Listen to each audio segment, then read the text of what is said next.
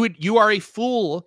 You are a fool if you believe that TPG bought Kepware, ThingWorx, and Prophecy to do nothing with them and to do nothing with the customers. TPG isn't in the business of spending three years building a brand new platform to sell to the customer base. So they are going to get more out of the existing customer base.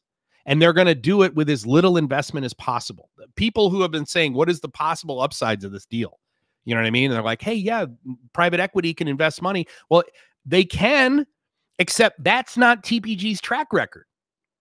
Their track record isn't um, transforming markets, it's squeezing more out of existing customer bases, shoring up light. There, there. It's mostly business decisions.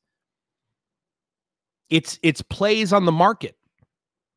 It's making the it's making the balance sheet and the P and L look better for exit. That's what TPG does. And that's not my opinion. Just go look it up. So you're a fool if you believe that this isn't the Maine Venture Fund who in, who's the primary investor in Highbyte. The Maine Venture Fund is focused on improving industry and the quality of lives of all people who live in Maine. And Highbyte happens to be based in Portland.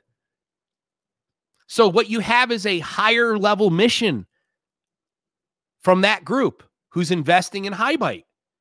There's not a higher level mission here. There is no higher level mission here. This is is how can we get more out of these out of the install base? That's what it is. That's what this is.